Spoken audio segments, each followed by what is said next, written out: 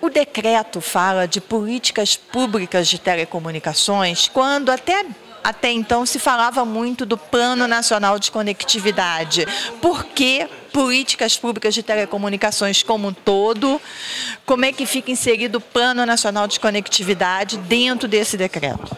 Então, o, nós começamos uma, uma política pública que visava dar um direcionamento para os investimentos públicos, né, principalmente para a banda larga, e como foi falado aqui, banda larga nas localidades onde não existe banda larga, né, então localidades desatendidas. Né, e à medida que a gente foi avaliando a legislação, as normativas que, que já existiam, né, Plano Nacional de Banda Larga, o Plano Brasil Inteligente, a gente se viu na situação de que seria interessante fazer um, uma reforma mais ampla, contemplando evidentemente o plano de conectividade, mas avançando em termos de diretrizes para a Anatel, eh, orientações para o Ministério, eh, para a Telebrás, e nesse sentido a, a, gente decidiu por, por, fazer uma proposta de decreto de políticas de telecomunicações que inclui também o plano de conectividade.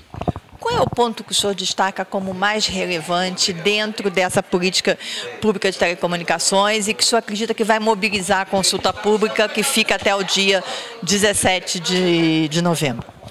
Olha, no meu entender, a parte mais importante é o plano de conectividade, porque ele dá claramente uma diretriz para os investimentos públicos e essa diretriz, eu creio que é uma diretriz é, muito republicana, no sentido em que, pela primeira vez, nós estamos dizendo explicitamente que nós queremos que qualquer investimento público seja direcionado para aquelas localidades onde elas que não estão sendo ainda atendidas.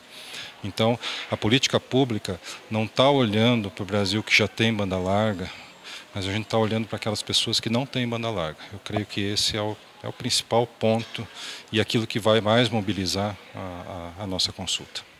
Mas os recursos estão condicionados ao, ao, melhor uso do FUST, que hoje está contingenciado para superávit primário, a própria aprovação do PLC 79, para que as operadoras troquem né, investimentos em telefonia fixa pra, por banda larga.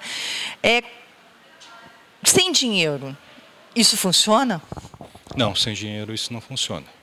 De fato, a gente está condicionado a resolver as questões que você apontou.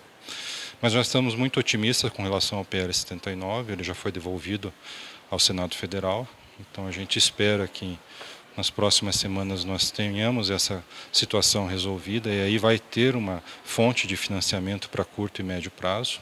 Né? E a longo prazo o Ministério está trabalhando numa proposta de reestruturar o FUST para que ele possa ser aplicado, como o diretor Arthur falou, paulatinamente, mas até que a gente consiga reverter e, e conseguir aplicar integralmente os recursos do FUST é, para as políticas de, de, telecomunicações. Qual é o papel da, desse decreto de políticas públicas de telecomunicações quando a gente fala de economia digital e de um Brasil digital?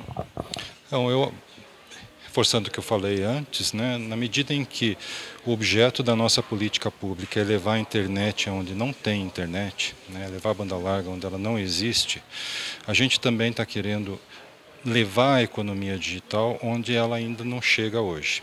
Né. É, a gente não quer um Brasil onde a economia digital floresça só nos grandes centros e nas áreas ricas. A gente quer que os benefícios da economia digital eles sejam democratizados na população. Né? Então, é, é com esse olhar que a gente olha os investimentos públicos e olha o desenvolvimento da economia digital também.